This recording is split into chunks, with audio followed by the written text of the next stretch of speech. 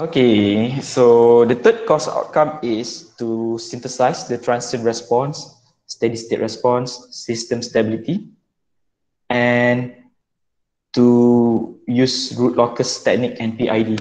Okay, so what I'm, what I have just said just now, maybe, maybe uh, I don't know, maybe you you don't understand what I'm just repeat just now, but basically uh, this subject is about uh, when you have a system, so the first thing that you need to understand about the system is um, is the system stable? Stable means that, uh, for example, uh, let's say your car. Okay, let's say if you have a car, and if you have a a shock shock absorber, the absorber in, in your car near the tires. Okay, so is the absorber uh, stable? Stable means that uh, let's say if your car, uh, if you drive your car through a bumper, through a bump, and then after, let's say you drive at a high speed, maybe 50 kilometer per hour, for example. So after you drive over the speed bump, will the car vibrate? And how long is the vibration? Meaning that uh, will the vibration um, uh, continue over time for, for a long, long, long time? Or will the vibration stop? So this is the, uh, the stability that we are, that I'm talking about. And this stability, we, we don't want the car to be in vibrating uh, mode when, whenever it, uh, whenever you drive through a speed bump. You want it to be vibrate for a while and then maybe, uh, maybe the vibration stops so that uh, the passenger in the car feels comfortable during uh, the driving okay? So basically in control system we are going to learn about how to determine the stability of a system. Let's say you are given a system um, is the system stable? How you want to determine the stability? There are a lot of methods that we are going to learn in this subject so the the method that uh, that uh, that I mentioned has been stated here in the course outcome. For example, like root locus technique, steady state response, transient response. These are the methods that we are going to use to understand the system stability.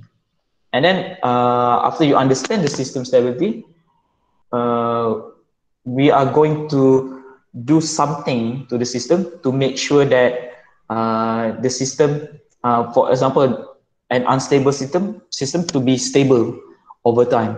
So we use uh, a controller. So the most common controller in uh, in control system is PID here. So we are going to learn about PID maybe uh, at week 13 or 14. Okay. So the main uh, idea of the subject is about uh, analyzing the system stability. So uh, the course content, so we have six chapters. Okay, so the first chapter is about basic control system concept. And then we have modeling of the dynamic system.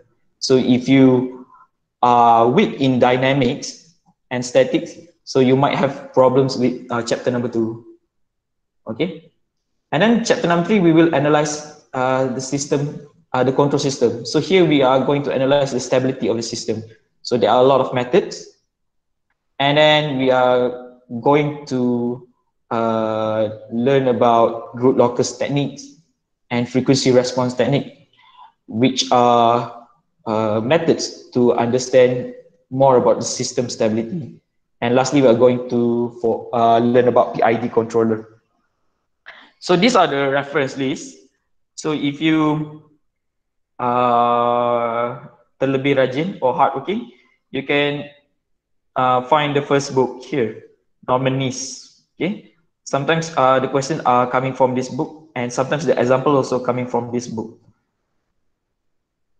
Uh, the other books are not compulsory, but if you can uh, find maybe the solution manual ke apa apa ke, then it could be useful for you. All right.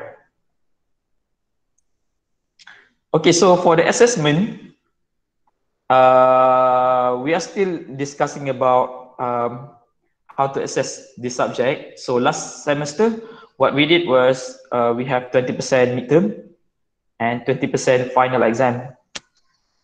And then 60% uh, project and quiz. But uh, this semester, maybe we are going for a 40% final exam, okay? But still uh, haven't decided yet. So I will let you know maybe uh, by next week, okay? Because there are a lot of uh, issues uh, regarding the either 20% or 40% final. So uh, later on, I will uh, update update to you about this. Okay. All right, for project, so I will brief the project on week three. So at the moment, uh, you need to form group up to three students. Okay. So you don't need to uh, be in group of three. You can do your project alone, or you can do in pairs. Okay.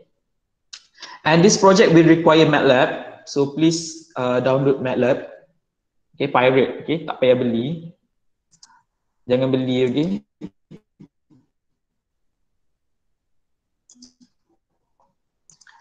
So please uh, download MATLAB. Uh, try to uh, look for um, a, version with a smaller size, okay.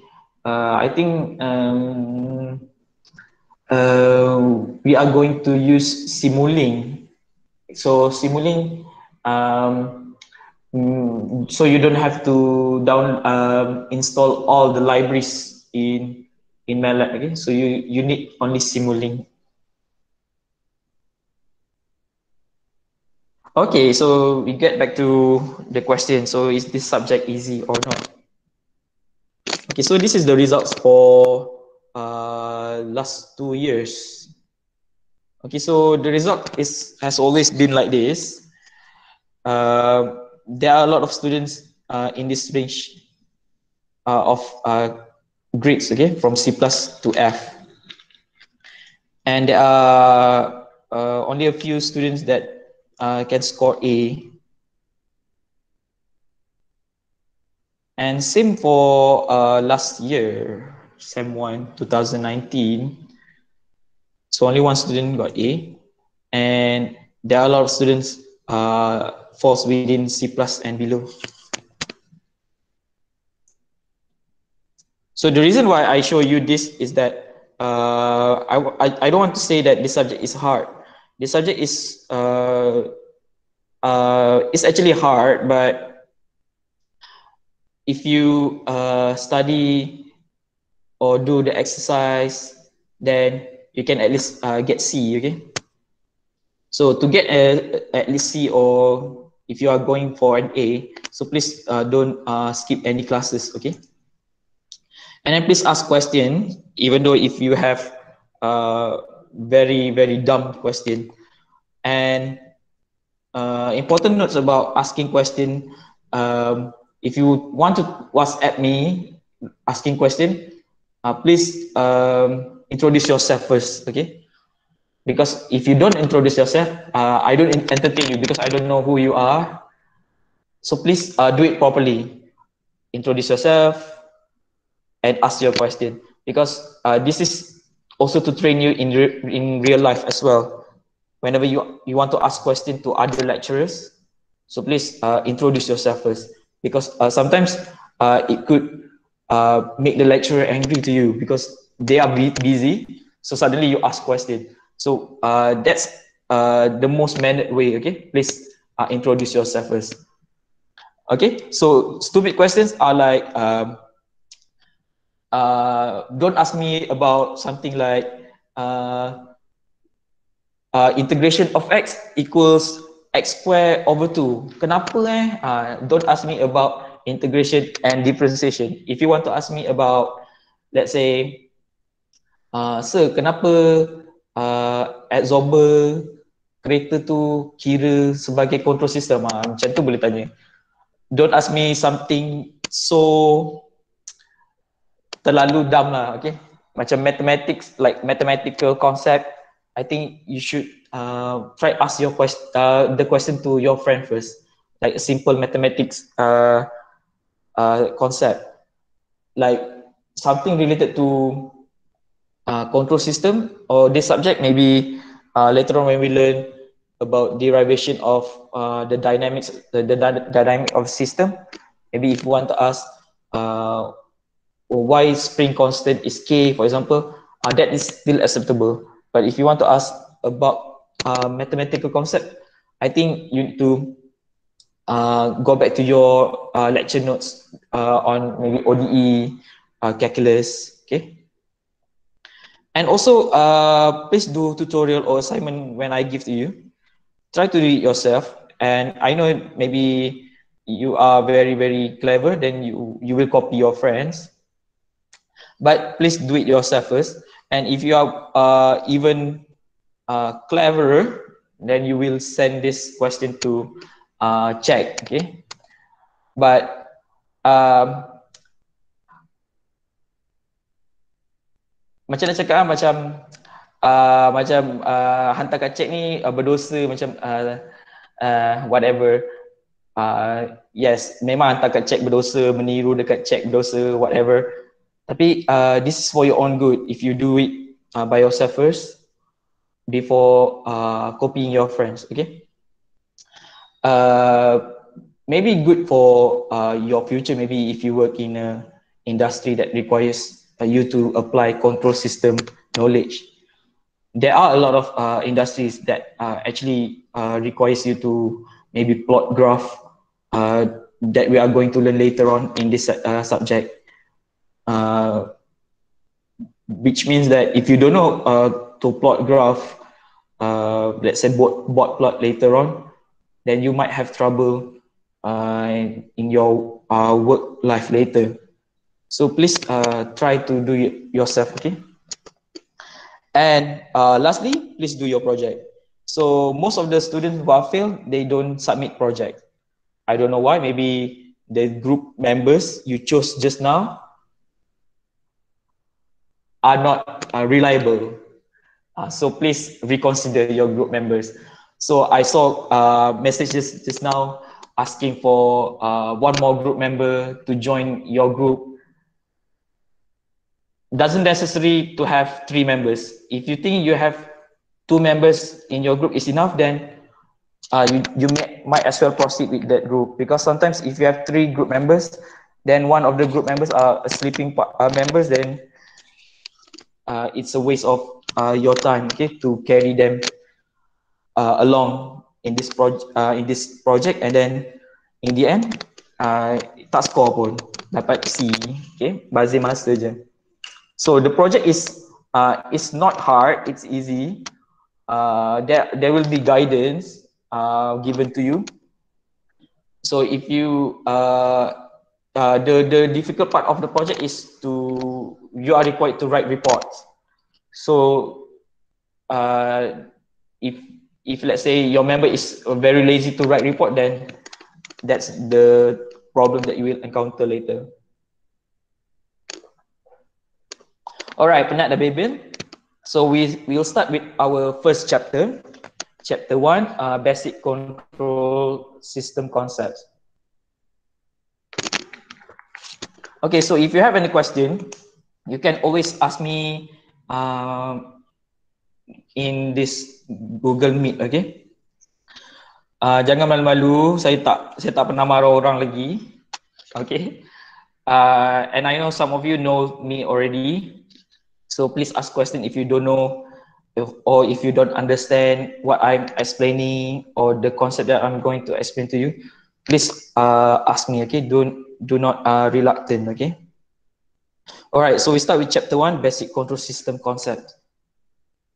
So after completing this chapter, you will be able to define a control system and describe their applications and describe the basic features and configurations of control system such as input, output, plant, open loop system, closed loop system. And number three, describe control system analysis and design objective. And lastly, describe a control system design process. Okay, so uh, control system are an integral part of modern society. So there are a lot of applications of control system uh, in many many aspects of uh, engineering especially so we have control system in mechanical engineering for example car absorber just now. In computer science in your computer your microchips require a lot of controlling in there. So if you learn uh, cp you learn about if else for loop while loop all of that are controller okay? Controlling uh, a system. And in electrical engineering in designing circuits you are going to learn uh, you are going to need uh, control system a controller same with instrumentation. Instrumentation and electricals are basically the same thing. And chemical engineering so power plant when you uh, design power plant you need a control system. And there are many many other things. So this is an example a simple example of a controller so this is a liquid level control system which you usually found in toilet okay? Kat tandas kat rumah uh, tadi baru pergi toilet kan? So um, basically what happened here is that uh, this tank contains uh, water. So whenever you flush uh, your toilet, then the water will uh, go out through this valve. So when the water goes out, then this buoy will drop and open this pneumatic valve here and water will inflow and fill the tank. So after some time, after the tank is filled, then the buoy will raise and close this valve. So the effect of buoy open and closing the valve is an example of a controller. So this is a mechanical controller. It doesn't require any uh, electronics to control the level of water. Another complex, uh, maybe a more complex example of a controller is when you have a electric furnace. Let's say an electric furnace where you want to melt uh, metals, for example. So we want to control the temperature inside the furnace. So when you want to melt uh, a metal, you want to make sure that the temperature is in the right range, okay? So if let's say you you uh, overheat some metal, maybe you will get uh, amorphous materials, for example, okay? So here, we want to control the, the, the heat element here, the heater. So let's say you set uh, temperature here, 70 degree, for example. So uh, let's say you set here from the program input 70 degree. I want to heat the furnace at 70 degrees Celsius. So the system will tell the heater to heat the furnace until 70 degrees Celsius. So the temperature, uh, the thermometer will measure the temperature in the furnace. So if let's say the temperature is uh, exceed uh, 70 degrees Celsius, then a signal will be sent to the system telling the computer or telling the system that the temperature has exceeded 70 degrees Celsius. So please uh, stop heating. Okay, so the computer will tell the heater, stop heating because the temperature has exceeded. So if let's say uh, the temperature reduce below 70 degree, then the temp uh, thermometer will measure and tells the system that the temperature has reduced.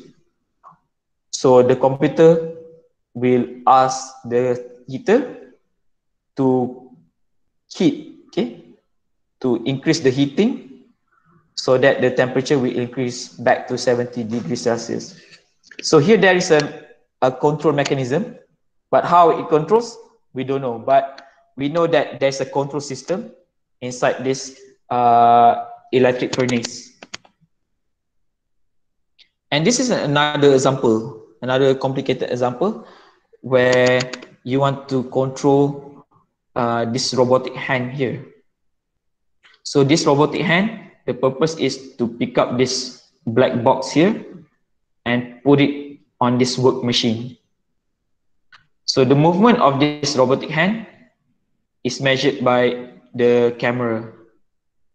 So let's say uh, when the hand uh, moves, let's say uh, you want to pick up the box here, but the hand is moved uh, and then located slightly, uh, maybe uh, a bit far from the box. Okay, so the camera will measure and then send signal to the controller and tells the controller that the robotic hand is not on the right location. So the controller will then tell the actuator to to move the hand, robotic hand, so that it is uh, going to the right location and pick up the box here. So here the sensor is the camera because it measures the movement of the robotic hand. And the robotic hand, we also call it as an actuator because it actually uh, causing the mechanism or the movement uh, when asked by the controller. So from the example that I showed to you, there are a lot of components inside a controller. So now we are going to uh, learn about uh, what is control control system and what are their components. So basically a control system consists of subsystems and processes or plants assembled for the purpose of obtaining a desired output with desired performance given a specified input. So let's say you want to drive your car at speed 80 kilometer per hour. Okay, so your desired uh, your desired output is 80 kilometer per hour. So you input uh, your speed 80 kilometer per hour, and then the car will move. And then the, the output, the actual output produced by the car, meaning that the actual speed of the car might not be exactly as 80 degree, uh, 80 kilometer per hour. Maybe it could be less, it could be more. So uh, the control system will try to make sure that the speed of the car is the same, the actual speed, the desired speed, the actual speed is the same as what you want, okay? So if you want 80 kilometer per hour, then the control system will make sure that the car will move uh, at 80 kilometer per hour. So that's uh, the purpose of a control system. So you have an input or desired uh, desired response, a control system, and the actual output, the output that you you you get from the system.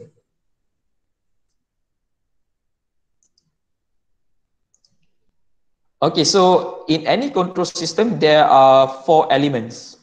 So there are four elements in a control system. So the first elements are the input or your desired desired output. Okay, your desired you what what you actually want on the system. So that's the input.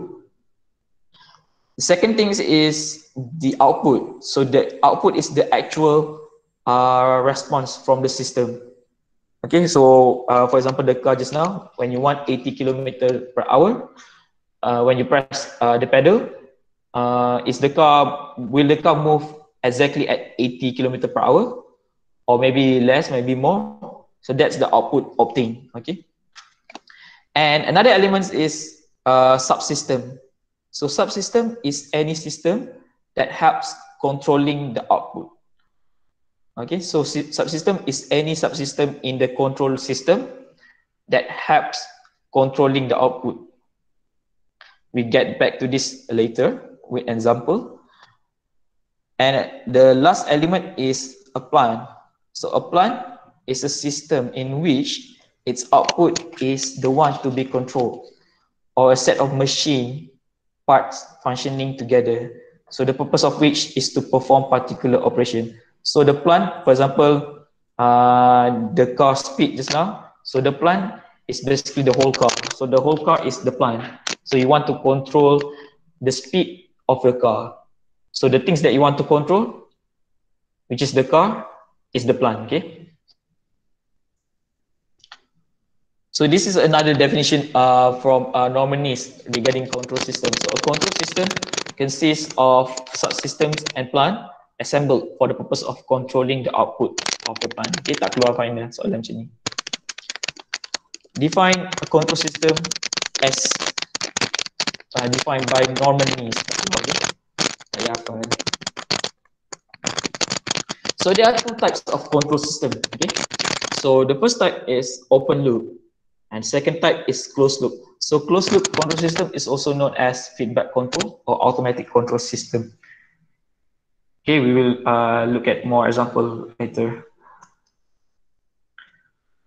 Okay, so open loop, basically you have a system that the output is not compared with any reference input, okay? Uh, the accuracy of the system depends on calibration. And in the presence of disturbance, the open loop control system will not perform the desired task. So for example, here is a washing machine. So let's say you want to wash your clothes, when you insert coin uh, dekat laundry, when you insert coin to wash your clothes, then the timer given is maybe, let's say one hour. So one hour, then your clothes will be clean. So let's say uh, your friend, uh, your enemy ke, uh, jealous, jealous on you. So he stopped the wa washing machine.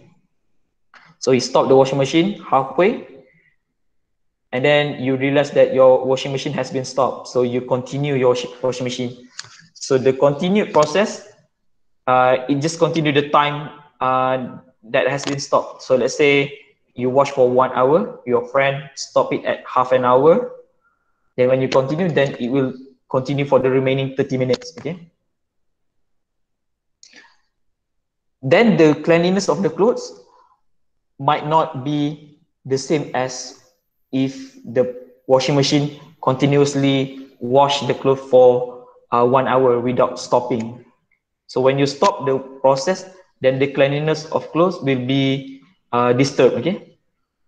So this is an example of an open loop, meaning that you want to wash the clothes, you give a specific time. Then you want that the clothes to be clean. But um, if the system is stopped, then the cleanliness of the clothes uh, will not be the same as what you desire, okay? Because it's not uh, being compared to to the input or to your desired uh, desired cleanliness. So meanwhile, uh, closed loop uh, system, the difference is that it has uh, a measurement that measure the difference between an input signal and the output signal, which is fed to the controller. So the controller can can know how much uh, difference between the input you want and the output obtained from the machine, from the system.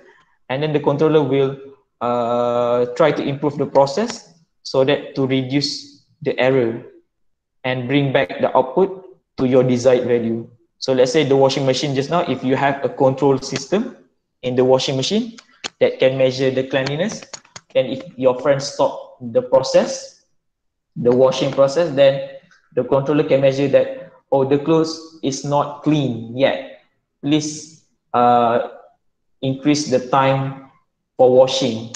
Then the washing machine, uh, instead of wash the clothes for the remaining 30 minutes, then it will continue maybe a bit longer to make sure that the cloth is clean or as clean as what you desire. Okay. So that's the difference between open loop and closed loop. But we will uh, see more example later. So uh, the difference between open loop and closed loop is that in closed loop, it has an additional subsystem known as a sensor. So here is two example. Uh, the top one here, figure A here is open loop system and figure B is closed loop system. So figure A here, you have an input, follow through a controller and process so when you have a disturbance, for example, the washing machine just now, So your friend stop the process, then you will get an output, but the output is not compare, comparable to the input or your desired uh, your desired output. Okay. However, in a closed loop system, it has a sensor in the bottom here. So the sensor can measure the output and then bring back to the input and then compare between the input and the output. So the cloth is the cloth clean as what you want. So if not, then it will continue the process until the error E here is reduced to approximately zero. So when the error is zero, then the process will stop, okay? So the difference between uh, open loop and closed loop is that it has a sensor in closed loop that can measure the output and then compare the output with your desired uh, output, the, in, uh, the input, okay? This is an, another example of um, open loop and closed loop system. So let's say you have uh, you are in a room that has uh, a bulb that can uh, bright brightens the, the room. So to to open the to turn on the bulb, then you use a on off switch. So let's say if if there's a sunlight from outside, which makes the, the room becoming too bright, okay? Then the output will be the room is uh, very, very bright. But the system will not uh, automatically dim the bulb so as to control the brightness. However, in a closed loop control system, there's a sensor. So here, a light sensor will measure the brightness of the room. So let's say there's a sunlight, then the room becomes very bright. Then the sensor will tell the controller to reduce the brightness or to dim the bulb. Okay. So when the bulb dims, then uh, the brightness of the room remains constant. Okay, remains the same as what you want. Okay, so that's the difference between open loop and closed loop.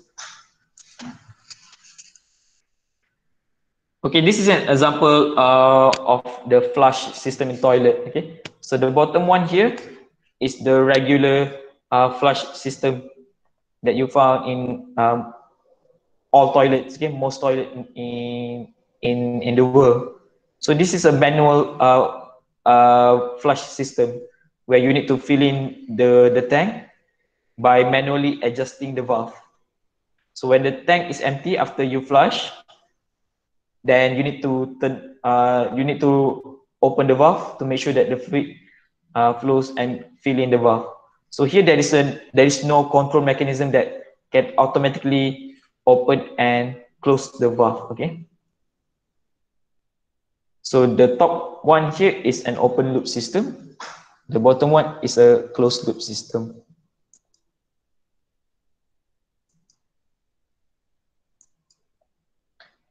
So this table uh, lists the differences between open loop and closed loop system. So uh, there are a lot of uh, criteria. So the first criteria is uh, the construction. So open loop system is easy to construct and simple in maintenance. However, for closed loop, it will require more components because you need sensor. So require more components. And the cost for open loop, it's uh, of course less expensive and closed loop is uh, higher in cost due to the sensor. And regarding the stability, there is no stability problem uh, with uh, regards to open loop. But for closed loop, the stability is a major problem. So uh, the stability mentioned here is regarding the oscillations, okay? For example, like the uh, the flush system just now, uh, the stability will uh, maybe can be defined when when the valve uh, is automatically open, then the water might might flow in the tank, and then maybe uh, maybe overflow, maybe underflow, maybe some of the water might uh, flow out of the tank. So that's uh, one of the example of stability problems. Okay. So stability that we are going to learn in this subject mainly comes from uh, closed loop system. Okay, so we uh, what we want we want to learn is how to correct or reduce the error due to uh, stability in closed loop system. So regarding the disturbance, open loop system is uh, very very prone to disturbance. Okay, so if there is a disturbance or external disturbance, then uh, the system will be uh, uh, will be uh, the output will will be disturbed, meaning that the output will not be the same as the input. However, for closed loop, the system is not sensitive to any this external disturbance because the controller can uh, can control the outcome of the output. And regarding the calibration, open loop system requires uh, calibration every time uh, for every use. Meanwhile, for closed loop, there is no calibration required. And when to use uh, open loop system? So you use open loop system when the system is very, uh, very hard to measure the output. Okay. For example, like washing machine, you don't know how to measure the cleanliness of the clothes. So there is no sensor that can measure the cleanliness of the clothes. Then you can use open loop system. So closed loop system is used maybe in cars to measure the uh, speed, okay, speedometer. Okay, so uh, we go back to the elements, elements of the control system. So here is an example of a uh, open loop control system uh, that controls the brightness in a room. So here, the room is the process, okay, or the plant, because everything occurs in the room. And the actual light, the actual light intensity is the output. And then the desired light intensity the desired light that you want is the input. And the switch and the bulb here are the subsystems. Okay, subsystem are the, the, the other things that helps in controlling the brightness or controlling the system. And the bulb is the actuator because the bulb is the mechanism, okay? So here, actuator is the mechanism by which a control system acts upon, okay? So the bulb is actually the mechanism. So the actuator. Here is another example of a control system in which uh, you want to control the temperature uh, inside a room. So what is the process? So the process here is the room here. So everything occurs in the room and the output is the actual temperature and the input is your desired temperature. The subsystems are the system or the things that helps controlling the temperature. So here the subsystem are the switch, the knob, the temperature setting knob, the air condition, and also the room, okay? The room maybe not, okay? And lastly, the actuator is the air condition. Okay. So this is the, the flush system. So what is the plant or process? So the plant or the process is the water tank. Okay. So everything occurs in the tank. And the output is the outflow of water. So the, the input is the water inflow so the subsystem, we have the controller here and the buoy or the float, which acts as a sensor.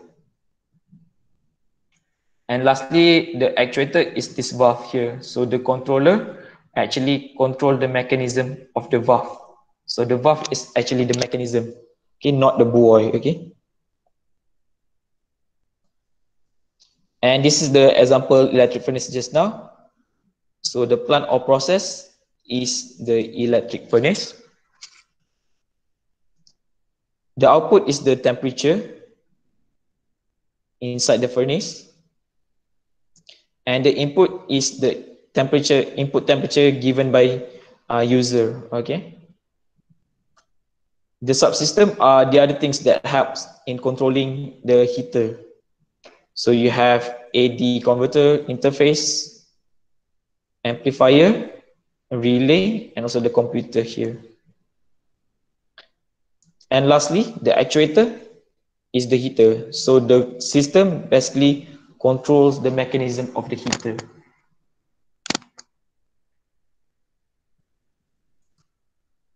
Okay, we skip. Skip juga. Okay, so the design process. Um, okay, so um, the design process uh, to design a control system. So first thing you need to um, determine uh, the components uh, in the system.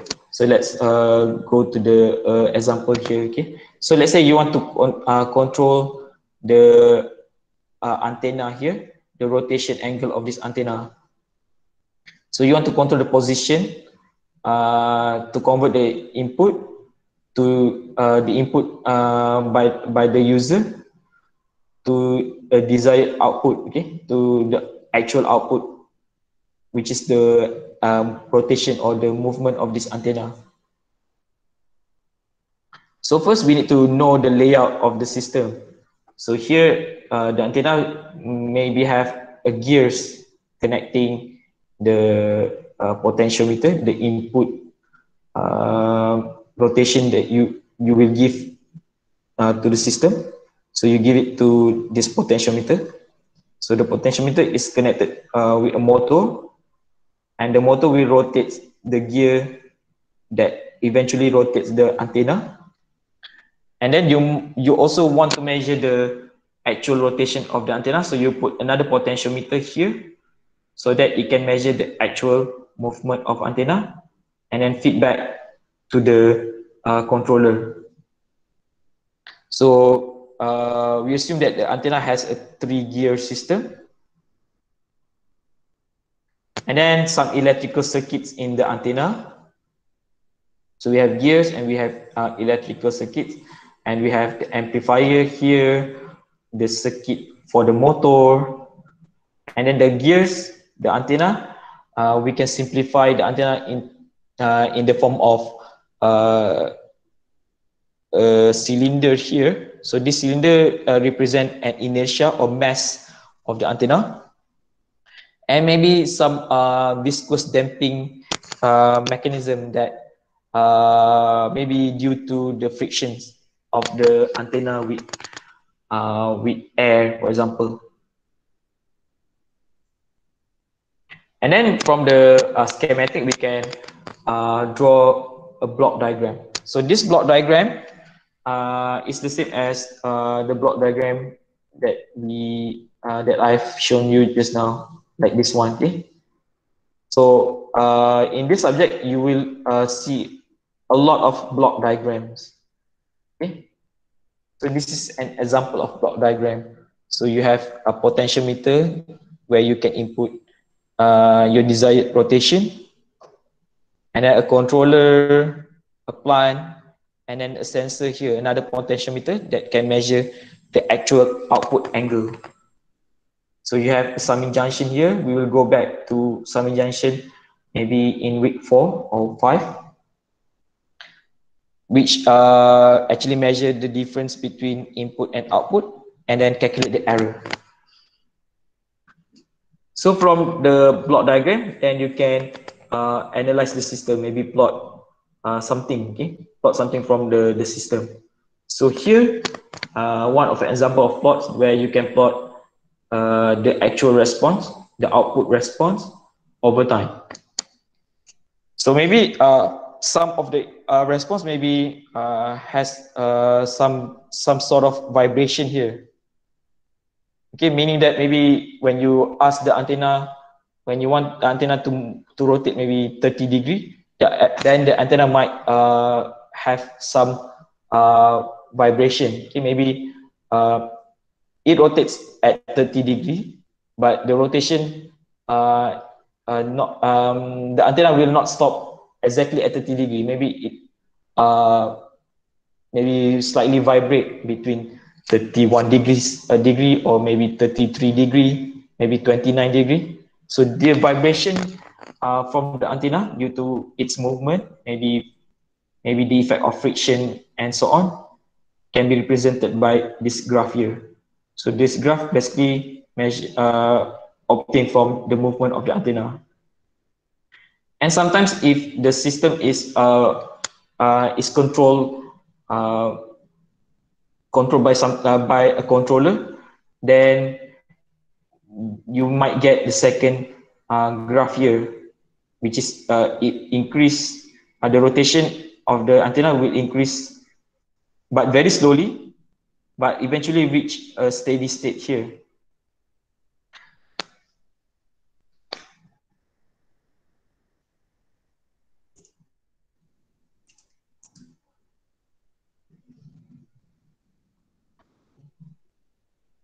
Okay.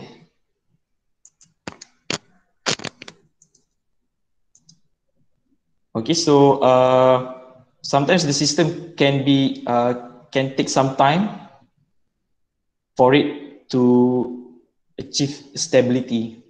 So the black line here, uh, later we will uh, learn more.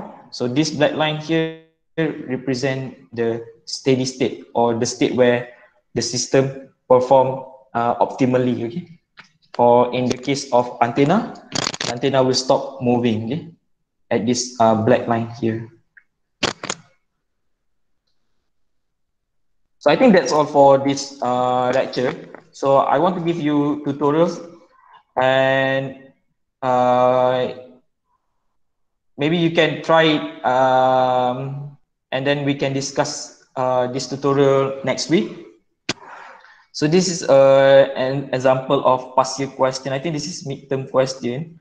So if you can try this question, then um, we can uh, discuss uh, next week, okay, on Tuesday. And this is a second tutorial. And this is also past year question. So for this question, you can always find it in uh, internet, okay? uh, bukan dekat chat. So you can find this uh, in internet by maybe copy paste ke ada jawapan dia online. The answer is online. And lastly, this is the third tutorial. So you can try this and maybe we can discuss next week. Okay. So uh, that's it for today's class. Uh, any question that you want to ask? nota ni ada dalam kalam ke? Oh, jap. Nota ada kot dalam kalam. Tapi nota lain sikit. Nota dia oh, okay. uh, uh, lain sikit lah. Tak ada tutorial kot. Yeah, I will uh, up, upload this uh, video later on in YouTube and I will send to you uh, the tutorial. So uh, I will send to you the link to the video so you can uh, always watch the video for the tutorial. Okay, so, thank you, sir. Okay. Okay, so menjawab dah soalan uh, VJ.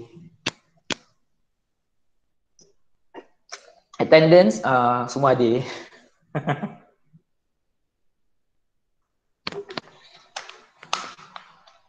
Thank you.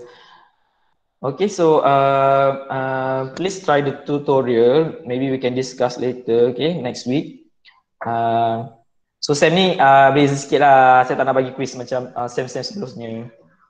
Okay, mungkin quiz, uh, maybe I will give quiz, maybe uh, I will tell, I will let you know first before uh, I give you quiz. Maybe uh, week three ke week four, maybe uh, uh, not not frequently, maybe uh, three weeks, uh, one one quiz, one quiz for every three weeks or uh, every four weeks, okay, something like that. Okay. So if you have any question, you can ask, and if you if you don't have any question, then uh, the class ends here. Okay. Thank you and assalamualaikum. Thank you, sir. Thank you, sir. Thank you, sir. Thank you, sir. Thank you, sir.